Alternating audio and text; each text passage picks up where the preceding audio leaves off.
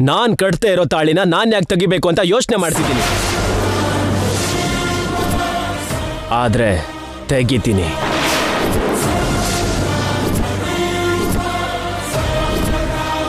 ಯಾಕೆ ಅಂದ್ರೆ ಇದನ್ ತೆಗೆದ್ರೆ ತುಂಬಾ ಪ್ರಾಬ್ಲಮ್ಗಳಿಗೆ ಸೊಲ್ಯೂಷನ್ ಸಿಗತ್ತೆ.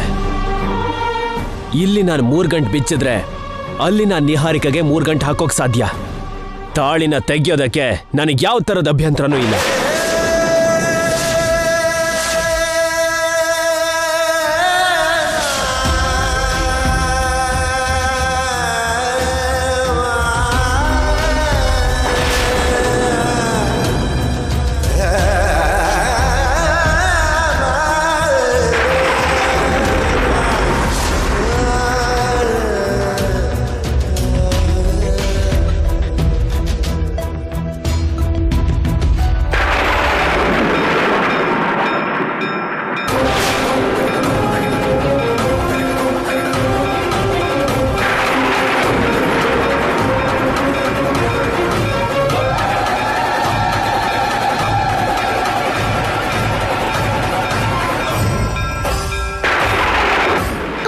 ಅನ್ನಪೂರ್ಣಾದೇವಿ ನಿನ್ನನ್ನು ನಂಬಿಕೊಂಡು ನಾನು ಎಷ್ಟೆಲ್ಲ ಮಾಡಿದ್ದೀನಿ?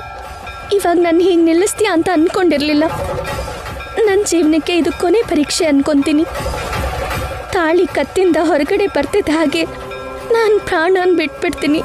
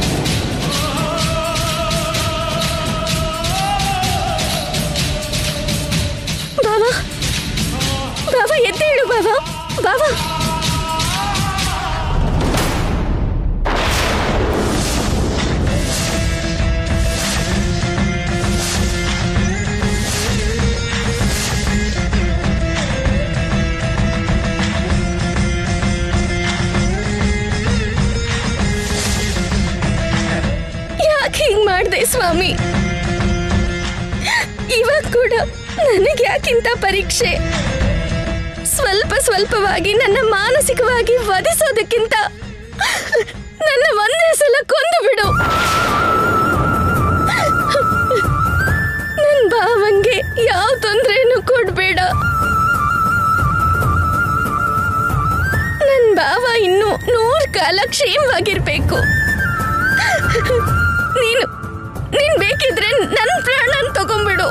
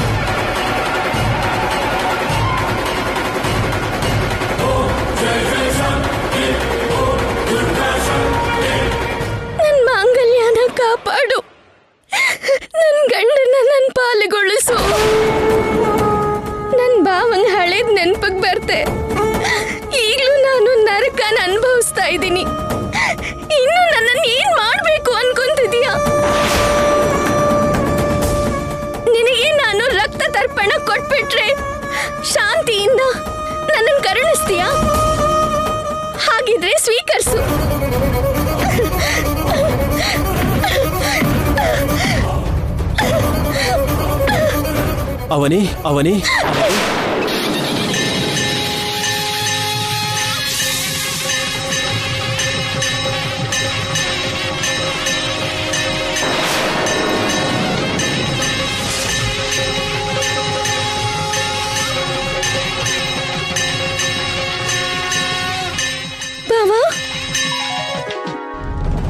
ನಾವು ಈ ಸಮಯದಲ್ಲಿ ದೇವಸ್ಥಾನದಲ್ಲಿ ಹಾಕಿದ್ದೀವಿ.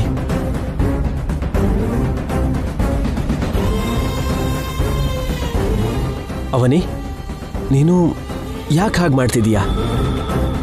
ನಿನಗೇನು ಕಷ್ಟ ಬಂತು?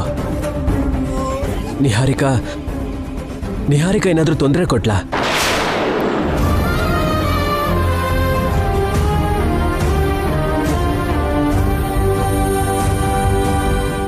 ಮದುವೆ ಮುಹೂರ್ತ ಹತ್ರ ಬಂದಿರೋ ಹಾಗಿದೆ ಅಲ್ವಾ? ಅದಕ್ಕೆ ನಿಹಾರಿಕಾ, ಫ್ಯಾಮಿಲಿಯವ್ರನ್ನೆಲ್ಲ ತನ್ನ ಕಡೆ ತಿರುಗಿಸ್ಕೊಂಡು ನಿನಗೇನಾದರೂ ತೊಂದರೆ ಕೊಟ್ಲಾ?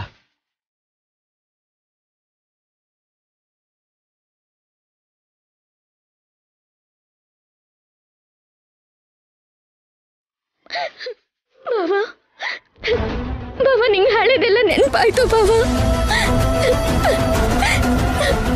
ಹಳೆದೆಲ್ಲ ನೆನಪಾಯ್ತು ಅಂದ್ರೇನು? ಏನ್ ಹೇಳಿ ಬಾವ ಅಷ್ಟಕ್ಕೂ ಏನ್ ನಡೀತು? ಏನ್ ನಡೀತಿದೆ? ನಾವು ಹಳ್ಳಿಗೆ ಹೋದಾಗ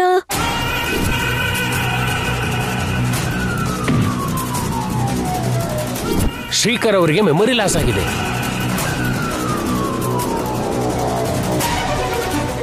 ಬರುವ ತಿಂಗಳು ಆರನೇ ತಾರೀಕು ಬೆಳಿಗ್ಗೆ ಹನ್ನೊಂದು ಗಂಟೆಗೆ ಅವನಿ ವಿಕಾಸನ ವಿವಾಹ. ಮದುಮಗಳು ಅವನಿಗೆ. ಕಂಗ್ರ್ಯಾಚುಲೇಷನ್ಸ್ ನಿನ್ ಮದ್ವೆ ಏರ್ಪಾಡ್ನೆಲ್ಲ ನಾನೇ ನೋಡ್ಕೊಳ್ಳೋದು.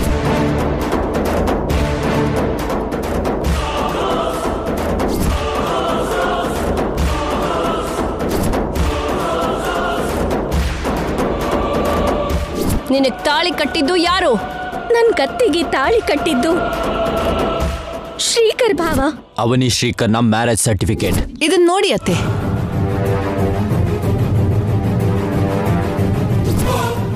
ಅವನಿ ಜೊತೆ ಸೇರಿ ನೀನು ಕೂಡ ಹೀಗ್ ಮಾಡ್ತೀಯ ಅಂತ ನಾವ್ ಅನ್ಕೊಂಡಿರ್ಲಿಲ್ಲ.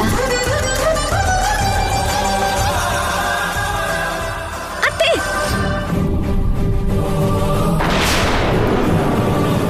ಇನ್ ಕಾಯೋದು ಒಳ್ಳೇದಲ್ಲ.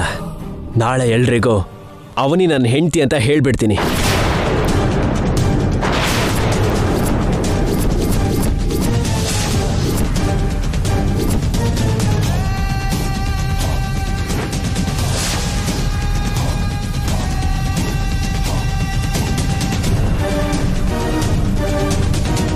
ಆ ರೀತಿಲಿ ನನಗೆ ಹಳೇದೆಲ್ಲ ನೆನಪಾಯ್ತು. ಈಗ ನಾನು ನಿಹಾರಿಕಾ ಕುತ್ತಿಗೆಗೆ ತಾಳಿ ಕಟ್ಟೋದು ಕರೆಕ್ಟ್ ಅಲ್ಲ ಅಲ್ವಮ್ಮ?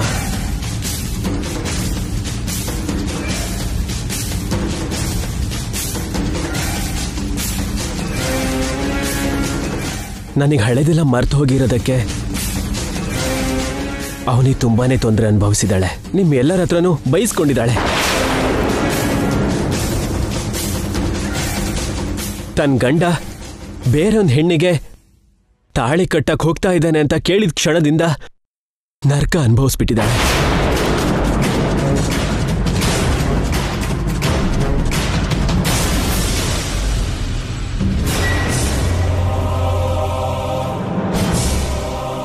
ನಾನು ನಿಹಾರಿಕನ್ ಮದುವೆ ಮಾಡ್ಕೊಳಕ್ ಆಗಲ್ಲ ಅಮ್ಮ.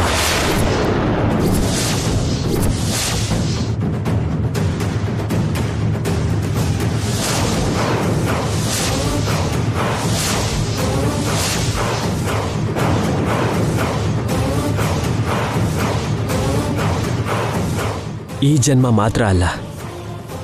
ಜನ್ಮ ಜನ್ಮಕ್ಕೂ ಅವನಿನೇ ನನ್ನ ಹೆಂಡತಿ.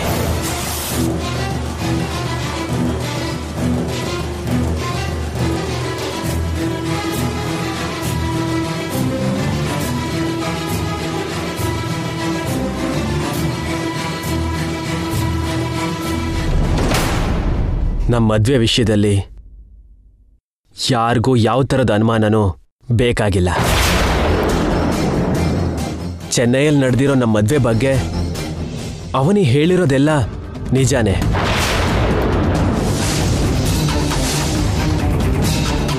ನಿರೂಪಿಸೋದಕ್ಕೆ ಆಧಾರ ಇಲ್ಲದೆ ಇದ್ರು ನಮ್ಮ ಬಂಧ ನಿಜ ಅಂತ ಹೇಳೋದಕ್ಕೆ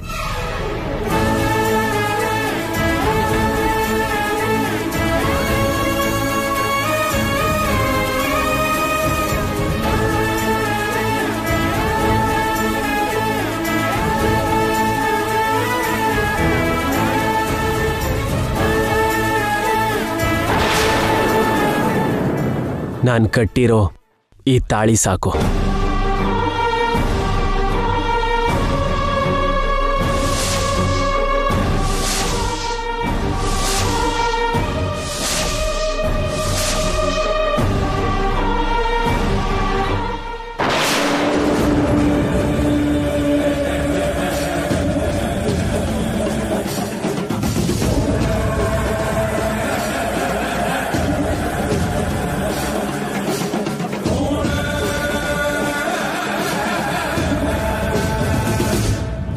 ಅವರು ಪಾಪ ಮಗನ ಮೇಲೆ ಎಷ್ಟೊಂದು ಆಸೆ ಇಟ್ಕೊಂಡಿದ್ರು.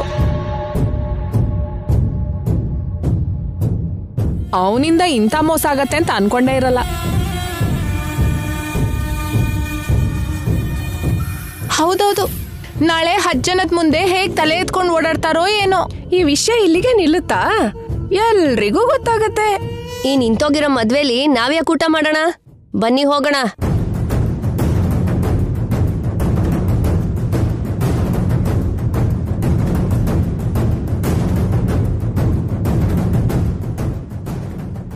ಸರ್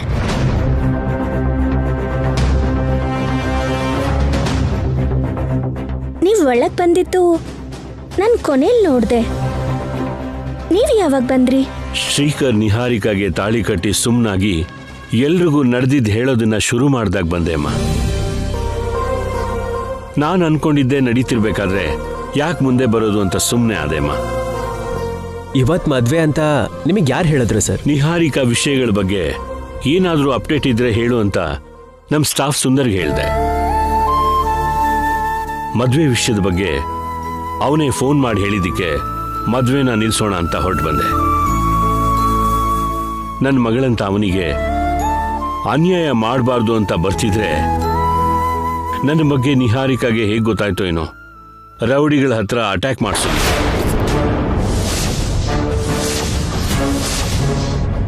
ತಕ್ಷಣ ಸ್ಟೇಷನ್ಗೆ ಹೋಗಿ ಪೊಲೀಸರನ್ನ ಕರ್ಕೊಂಡು ಬಂದೆ. ಅಲ್ಲಿ ನೋಡಿ, ಹೊರಗಡೆನೇ ಇದ್ದಾರೆ. ಏನೇ ಆಗಲಿ, ಶ್ರೀಕರ್ಗೆ ಹಳೆ ನೆನಪು ಬರೋದಲ್ಲದೆ ಇಷ್ಟು ದಿನಕ್ಕೆ ಧೈರ್ಯ ಮಾಡಿ ಎಲ್ರ ಮುಂದೆ ನಿಜ ಹೇಳ್ದ. ನಿಜ ಹೇಳ್ದೇನೆ ಇಷ್ಟು ದಿನ ಕಾಯ್ತಾ ಇದ್ದಿದ್ದಕ್ಕೆ ಅವನಿಗೆ ಏನೇನೆಲ್ಲ ನಷ್ಟ ಆಯಿತು ಅಂತ ಅರ್ಥ ಆಯ್ತು, ಸರ್. ಅದಕ್ಕೆ ದೇವ್ರ ಮೇಲೆ ಭಾರ ಹಾಕಿ ಧೈರ್ಯ ಮಾಡಿ ಹೇಳ್ಬಿಟ್ಟೆ. ಇನ್ನು ಪರಿಣಾಮ ಹೇಗಿರುತ್ತೆ ಅಂತ ನೋಡಬೇಕು. ಪರಿಣಾಮಗಳು ಹೇಗಾದರೂ ಇರ್ಬೋದು ತೊಂದರೆ ಕೊಡ್ಬೋದು ನೋವು ಕೊಡ್ಬೋದು. ಅದರಲ್ಲೂ ಕೂಡ ಅವನಿಗೆ ಆನಂದ ಇರುತ್ತೆ. ಯಾಕಂದ್ರೆ ಇವಾಗ ತನ್ನ ಸ್ಥಾನ ಏನು ಅಂತ ಎಲ್ರಿಗೂ ಗೊತ್ತಾಗೋಗಿದೆ.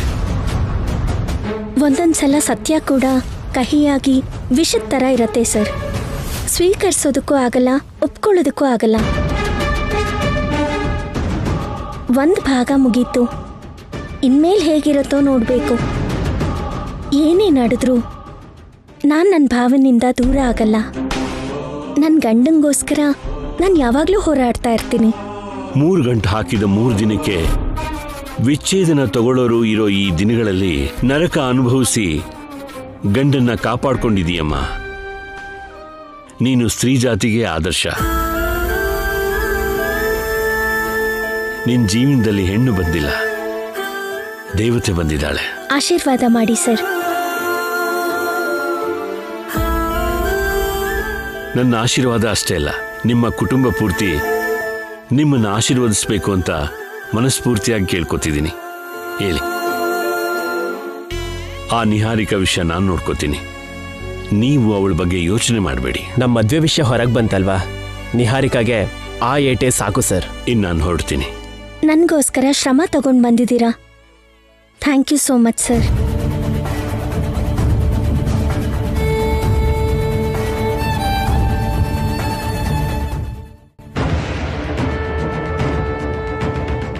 ಏನೈ ಸರ್? ಅರೆಸ್ಟ್ ಮಾಡ ಬೇಡ ಸರ್. ಅರೆಸ್ಟ್ ಮಾಡೋ ಅಗತ್ಯ ಇಲ್ಲ. ನಿಹಾರಿಕಾ ಮಾನಸಿಕವಾಗಿ ಅರೆಸ್ಟ್ ಆಗೋಗಿದ್ದಾಳೆ. ನಾನು ನ್ಯಾಯ ಕೊಡಬೇಕು ಅನ್ಕೊಂಡಿದ್ದ ಹುಡುಗಿಗೆ ನ್ಯಾಯ ಸಿಕ್ಕಿದೆ. ಹೌದಾ? ಗುಡ್ ನಾನು ಹೆಲ್ಪ್ ಕೇಳ್ತಿದ್ದಾಗೆ ತಕ್ಷಣ ನೀವು ರಿಯಾಕ್ಟ್ ಮಾಡಿದ್ರಿ. ತುಂಬ ಥ್ಯಾಂಕ್ಸ್ ನಾವು ಹೊರಡೋಣ. Okay sir.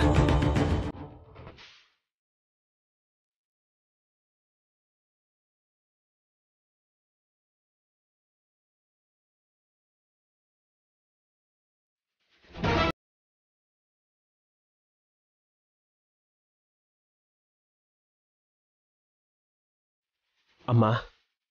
ನಾನ್ ನಿನಗಮ್ಮನೂ ಅಲ್ಲ ನೀನ್ ನನಗ್ ಮಗನೂ ಅಲ್ಲ. ನೀನು ಹೆಸ್ರಿಗ್ ಮಾತ್ರ ನನ್ ಮಗ. ಎಲ್ಲರ ದೃಷ್ಟಿಲೂ ಮಗ. ನನ್ ದೃಷ್ಟಿಲ್ ಮಾತ್ರ ನೀನು ಮಗ ಅಲ್ಲ.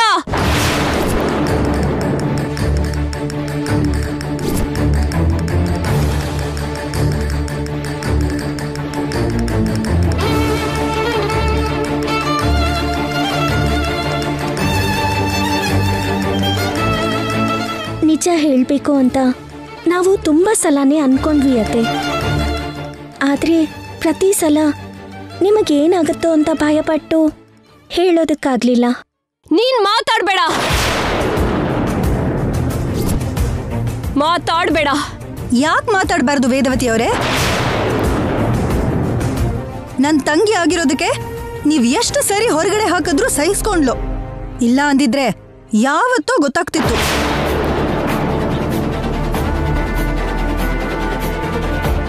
ಇವಾಗ ಇರೋರಲ್ಲಿ ಯಾರಾದ್ರೂ ಸರಿ ಅವನಿ ಹಾಗೆ ತಾಳ್ಮೆಯಿಂದ ಸಹನೆಯಿಂದ ಇರೋಕಾಗ್ತಿತ್ತಾ?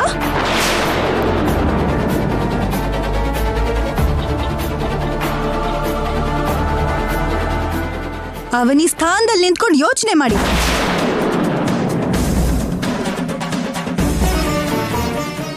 ನಿಮ್ ಸ್ಥಾನದಲ್ಲಿದ್ದ ಯೋಚನೆ ಮಾಡ್ಬಿಡಿ.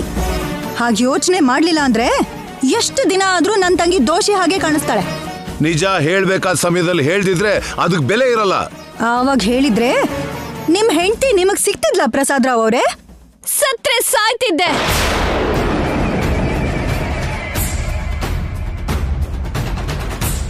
ಈಗ ಈ ನರಕ ನನಗಿರ್ತಿರ್ಲಿಲ್ವಲ್ಲ ಬಂದಿರೋ ಬಂಧುಗಳೆಲ್ಲರ ಮುಂದೆ ನನ್ ಮರ್ಯಾದೆನ ತೆಗೆದ್ಬಿಟ್ರಿ.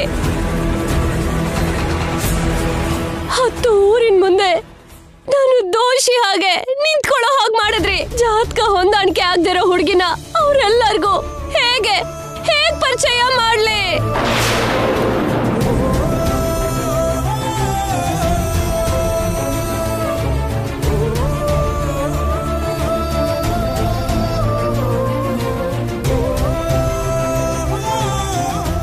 ನಮ್ಮ ಮನೆಗೆ ಸೊಸೆ ಆಗೋಳು ಹೇಗಿರ್ಬೇಕು ಅಂತ. ನಿನ್ಗೆ ಚಿಕ್ಕಂದಿನಿಂದಲೇ ಹೇಳ್ತಾ ಬಂದಿದ್ದೀನಿ. ಇಂಥ ತಪ್ಪು ನಿರ್ಧಾರ ಹೇಗ್ ತಗೊಂಡೆ ನೀನು?